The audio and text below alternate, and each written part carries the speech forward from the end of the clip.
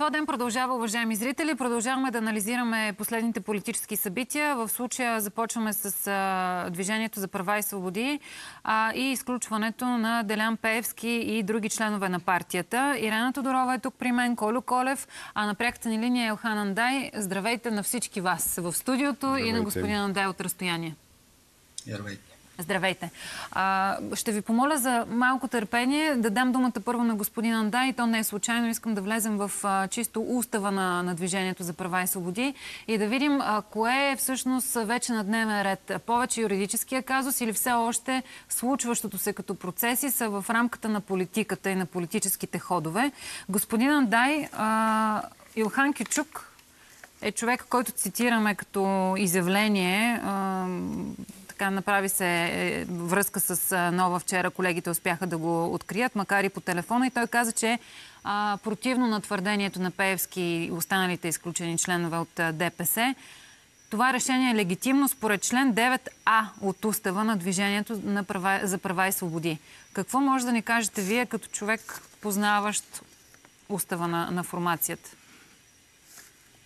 Илхан Качик определено не познава в детайли устава и не е юрист. Нали? Че има новини от Сарая, има, но, но от това, което ще анализираме нали, днес, трябва да изхвърлим категорично определението заседание на Централното оперативно бюро на ДПС, защото такова не е проведено в а, смисъла на уставна логика, демократични ценности и юридически стойности. Заседанието на ЦОП е 100% фейк новина. Вчера в така наречения летен сарай на Доган, който вече не е и негов, и той е само квартирант в тази резиденция, се е състояла поредната сбирка, съвещание, събрание, седянка и така нататък. Този път това събиране е облечено с решения на само 11 души от 24 членния ЦОП, 20 на изключени депутати от ПГ на ДПС и разбира се, начало с почетния председател на, на движението. От тук нататъка вече има едно една серия от декларации и вдигане на адреналина, предизборния адреналин и на единия, и в единия лагер, и в другия лагер. До сега битката беше между актива, от днес двата лагера трябва да излязат на терен и а, те просто не подозират какви шамари ще отнесат от избирателите за това, което сътвориха. Днес, може би, трябваше които да ще говорим... шамари или само единия? Определено и, два, и двата лагера хората на Доган получават малко повече симпатии в периферията, в малките населени места, в селата, където са останали, да използвам този гаден израз, социалните аутсайдери, докато, да речеме, в един басти, град бастион на ДПС на Доган, както наричаха Кърджали, хората определено са в държат това, което беше в последната година, да, да продължи. Добре. С реализацията на проекти, с промяната на визията на населените места, които бяха монополизирани до скоро от Движението за права и свободи. Хубавата новина за другите партии е, че вече има покана, свободен терен да стъпят в тези региони със свои кандидати, и още по-хубавата новина е за етноса, че много късно дойде демокрацията в този етнос, но дойде. Господин Андрей, връщам ви, да, да избират... разбрах прогнозата ви, връщам ви обаче в а, юридическата рамка, защото започнаха вече коментарите. Знаем, че а, Пеевски и останалите членове ще оспорват това а, решение според тях, което е абсолютно противоуставно, нелегитимно и така нататък. А, за да се оспорва това решение, доколкото разбрах, аз поправете ме, ако греша, разбира се, а, това оспорване първо минава през контролна комисия, преди да стигне до, до съдебна някаква фаза. Така ли е? Защо защото допълнителната информация, че тази контролна комисия може да се забави до 3 месеца с становище. Така ли е? То до там може и да не стигне. За да се случат тези неща тази заявка, тези решения, а, реш... СОП като орган вписан в съда трябва да представи а, това решение, за да последва актуално състояние. В мига, в който а, се направи това нещо, някой се яви там, било Чекъров, било някой друг, а, ще започне едно дълго производство, по време на което ще стане ясно, че това заседание е нелегитимно. Така че всякакви интерпретации са а, излишни, защото няма а, в, вре, времево, няма как да се случат нещата а, и ДПС да се, да се яви на избори с много актуално състояние. Това, което е в момента, това ще бъде и след месец, това ще бъде и в началото на предизборната кампания. Тоест, ДПС има двама председатели, Делян Пеевски и Джевдет Чакъров, а Ахмед Доган от 11 години не присъства в регистрите. Така че е, има едно Тоест, дърпане какво, на какво чергата. Какво казвате, че въпроса, че въпроса как се явяват изключените членове а, на следващите избори, с какви листи, от името на каква формация, изобщо не стои на дневен ред, така ли? И това решение вчера не възпрепятства явяването на тези хора на избори с листа в, на ДПС. Те от Ама ДПС то- ли са, не са ли от ДПС към днешна дата? То това, то, тези решения вчера нямат никаква стойност, докато не бъдат вписани някъде. Нали разбирате, събираме се в една зала и решаваме нещо. Има закони, има а, правов ред и той трябва да бъде извървян, колкото и да, да е Добре. трудно. Нали. След малко се връщам отново към вас а, с въпроса за, за листите и всъщност къде е партийния печат, кой ще готви листите, но да дам думата и на гостите тук в студиото. Госпожо Тодорова, вие какво, какво виждате в цялата тази а, картина? А, политически ходове предимно или а, без да, разбира се, да сме... Тоест аз съм, вие не сте юрист, а, влечеме, аз затова влизам така в устава, но а, има ли юридически казус? Вероятно има юридически казус, щом има две страни, които интерпретират по различен начин а, устава, но не се немам да коментирам тази тема, защото направих наистина, тази да, оговорка, да. наистина не познавам добре устава на ДПС. Това обаче, което до голяма степен а, виждаме, наистина е класическа политическа битка, битка на, за символите, ако щете, на, а, на ДПС. Взимам и повод от думите на господин а, Андай. Той не случайно спомена няколко пъти. Това е среща в а, а, Росенец, където Ахмед Доган, е, Ахмед Доган прост а, квартирант, ако го цитирам Да. съвсем правилно. Сега това със собствеността също е част от символите, защото, както знаем, Певски посегна на тази собственост или не, то институциите, които вероятно той по един, или начин, а, по един или друг начин контролира. Росенец е символно място за ДПС. Росенец е нещо като своеобразната централа на Ахмед Доган.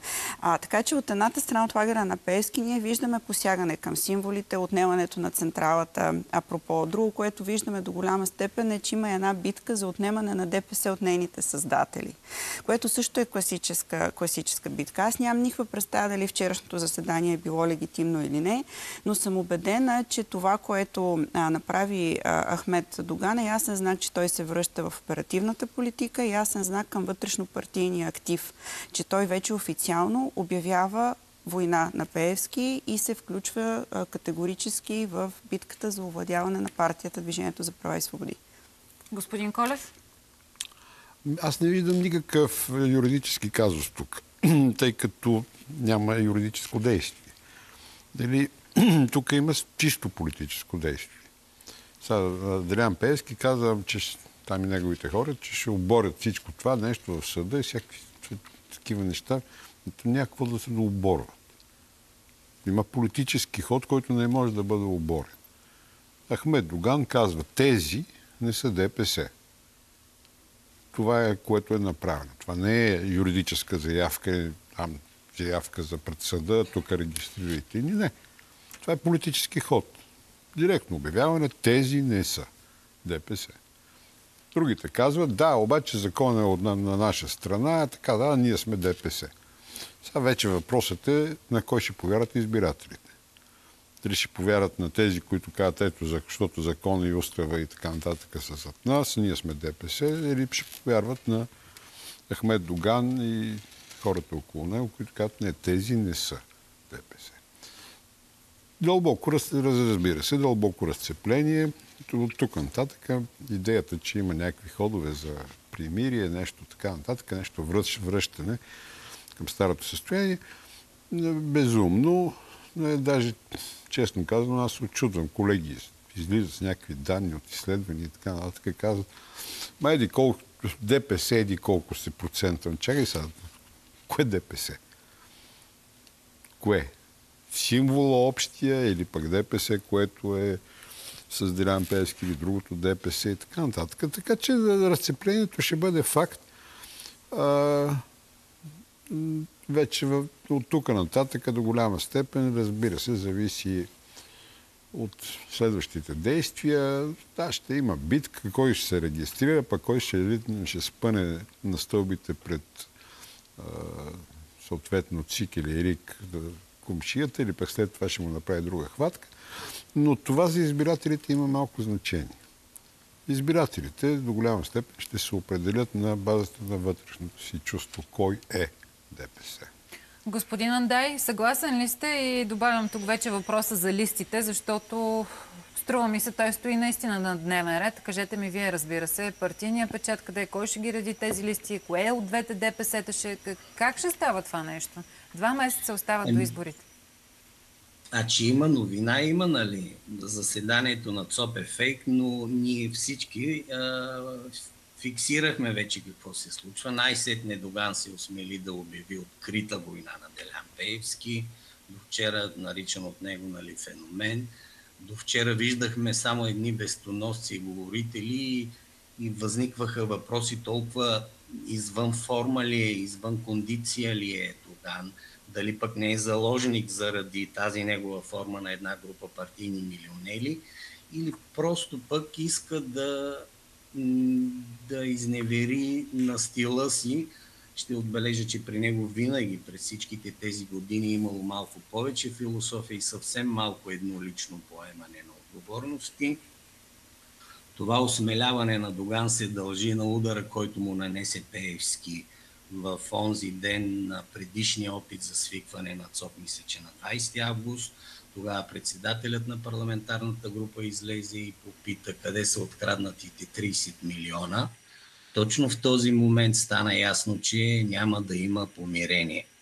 И затова в това импровизирано и много емоционално събиране в Росенец вчера, вследствие ако мога да кажа, на отчаянието на Доган, от слабия му екип, от провала му като бизнесмен, ако щете и от това, че последните дни той вече не е лидера на порциите, в кавички, както го наричат в онова помашко село. Доган едва днес, може би, разбира какво означава безпаричието и защо десетки хиляди етнически турци напускаха родината, за да оцелеят навън. Това е само една вметка, нали? Този процес на разделени семейства се случваше дори когато ДПС беше на власт. В последните седмици Доган определено видимо направи няколко пъти фалстарт. Фалстарт след фалстарт по отношение на свикване на ЦОП, свикване на ЦС, опитите да се снима пред летния сарай с авторитетни представители на турския етно, за да покаже, че той продължава да е лидера на този етнос.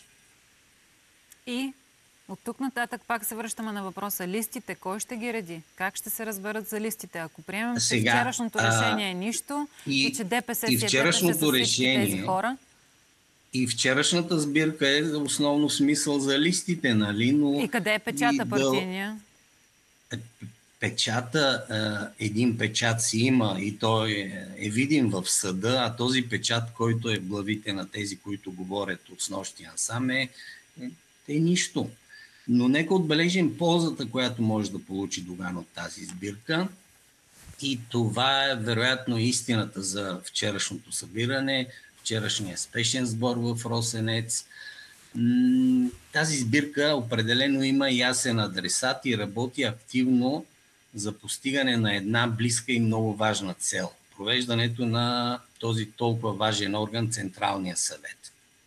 Категорично решенията вчера нямат правна стойност, но е много хитър ход, макар и да разкрива това отчаяние на лидера, на лидера и на лагера му, ход за облъчване с идеята да се получи тъй дълго желания този важен сбор. Вчера от фракцията ми споделиха, че ни им достигат още едни 25 души, за да се проведе най-важното заседание. Това е заседанието на Централния съвет, където вече по устав могат да освободят и членове на ЦОП, и зампредседатели и да насрочат още по-важната национална конференция и едва там могат да свалят Пеевски или Чакъров, или и двамата. Тези 25 така, човека, дем, според вас, възможно ли е да ги намерят? След вчерашния гав малко трудно, защото а, тези хора, които те ги преброяват, в другия лагер твърдят, че са им спящи клетки, за да получават информация. Обратното, може би е в сила и за другите. Добре. Но определено и двата лагера признават, че имат сили да блокират другите, но нямат сили да свикат а, заседания, било да на един орган, било на Моля ви с едно изречение, последен въпрос към вас. Представяме си ситуацията, която е абсолютно реалистична с оглед на това, което казвате. Влизам в вашата хипотеза. Решението от вчера е правно нищо. А, господин Певски с другите членове на партията все още са си членове на Движението за права и свободи. Кой ради лист, листите на Движението за права и свободи на следващите избори? Джевдет Чакаров Всеки. или Делян Певски? Делян Певски реди едни листи, Ахмед Доган реди други листи. Започва състезание пред ЦИК което задължително ще се пренесе в съда. Съда ще се произнесе кой е повече лидер. С една малка стъпка напред е Делян Пеевски, който е легитимният председател на парламентарната група. Реално той стои по-легитимно под марката ДПС, докато другите са изключени. Според мен и двата лагера много активно работят за план Б да се закачат всяка фракция към някоя коалиция и тази коалиция, независимо как ще се назовава, основните думи ще бъдат движение за права и свободи, тире еди какво си и така нататък. Да, разбрах. Ако питате коя, а, кой, коя листа ще има повече гласове... Е, това ще видим те първа. Вие направихте ви... своята прогноза, да. По селата имат подкрепа малко повече Доган, в големите населени места и сред горбечиите е така нареченото ново начало. Хората не искат да живеят капсулирано, виждат, че нещата се случиха да. и ще продължат да настояват за своето, за по-добър живот, независимо дали, ще се, да, дали пак на митинги ще се говори за възродителен процес и така нататък хората са отворили нова страница. Мнозинството етнически турци. Благодаря ви, господин Андай, за, за този анализ. Продължаваме разговора тук в, в, в студиото. Финални думи по темата за Движението за права и свободи. Очевидно, дори наистина да влезем в хипотезата, че правно нищо сме наблюдавали вчера с това решение при реденето на листите ще се стигне до, до някаква То е правно нищо, но, но е политическо нещо. Определено. Да, да говорим за правното, за юридическото. Госпожо Додорова. Ами, а, знаете ли, докато слушах господин Андай, си дадох сметка, че това, което се случва в Движението за права и свободи, е това, което се случва в българското общество, по принципи българските политически партии. Ние имаме един огромен структурен а, проблем от, а, може би, 10-15 години насам, където има една своеобразна битка между а, технократи, бизнесмени а, и хора, които са по-скоро с политическо или философско начало. А на мен ми се струва, че е крайно време да върнем изобщо нормалността в политиката, където много по-голяма тежест имат социалните и политическите а, ценности и много по-малка тежест имат бизнес интересите и корпоративното начало. Така че това е по-скоро като заключение от това, което чух от господин, господин Андай. Господин Колев, заключението ви е по въпроса с Движението за права и свободи? И аз още преди вече стане близо месец казах, на следващите избори най-вероятно да имаме две ДПС-та, които да се съревновават за този за тази електорална ниша. Сега вече как ще бъдат разпределени помежду им процентите е много трудно от сега да се каже. Добре, и на финала на разговора искам да направим една а, прогноза след всичко това, което наблюдавахме. Имаме вече нов служебен кабинет, а, Главчев 2. А, имаме нов министр на вътрешните работи, защото това беше големия проблем и спънката миналата седмица с кабинета на Кожарева. Калин Стоянов е отстранен, Атанас Илков е новия вътрешен министр и избори на 27 октомври. След тези избори, на база и на тези позиции, които чуваме в момента, единствената възможност според ПП да бъде антипеевски коалиция.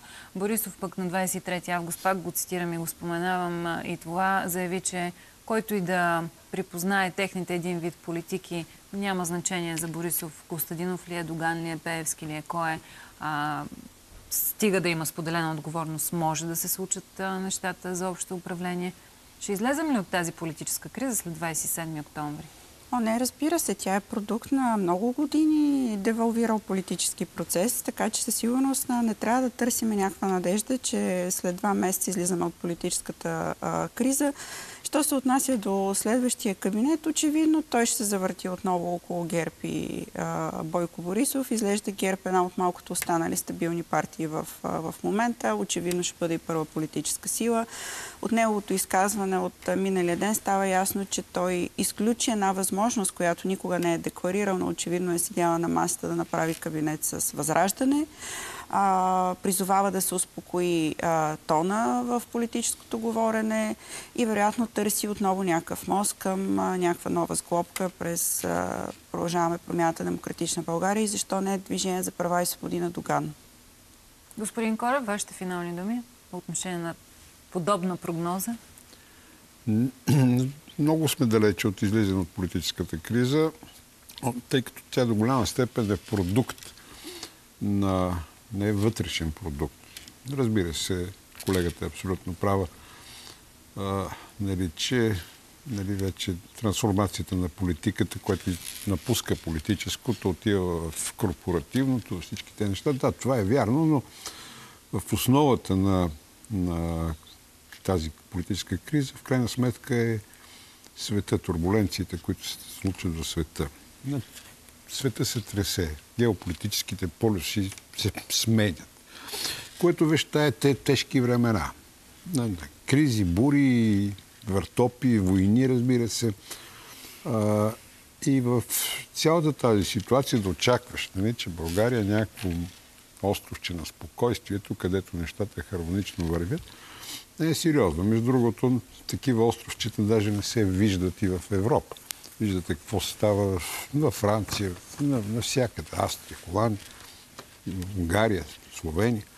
Всички тези неща са, всичко тази криза е продукт в крайна сметка именно на глобалните процеси и докато не се така малко или много те да се канализират, подредят, да се види на къде отива света, аз мисля, че ние ще перманентно Няма ще бъдем в не. Между другото, това може no. и да е за добро. Поради простата причина някой казва, много хубаво е да има правителство всички тези неща. Не сигурни ли сте? Нали сте?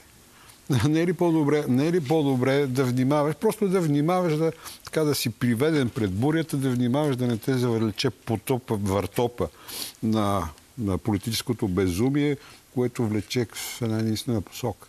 А това е война. Вой... И още по-страшно, невъзможно за ядрена арбегия. Да, да, не стигаме до някакви Но това, разбира се, тогава вече про, ви, тогава да, просто няма смисъл да знаем, говорим да. по-нататък. Благодаря ви много обаче за този анализ. Беше ми изключително приятно да ви видя и ви очаквам отново в нашото студио. А, реклама сега, уважаеми зрители. И продължаваме напред. Ще погледнем към кандидатите за еврокомисари заедно с Димитър Лилков от а, изследователски център а, Мартенс, Център за европейски изследвания в а, Брюксел. А, малко време остана. Не успяхме да обсъдим и, и този въпрос с вас, но това е положението. Ефирното ни време е ограничено. Имаме вече няколко номинации от политическите формации. Не от всички очакваме и още. И също време много малко време. Три или два дни останаха, докато а, така, имат възможност от а, изпълнителната власт. Визирам и премиера Главчев да посочи а, нашия избор. Останете с нас, уважаеми зрители.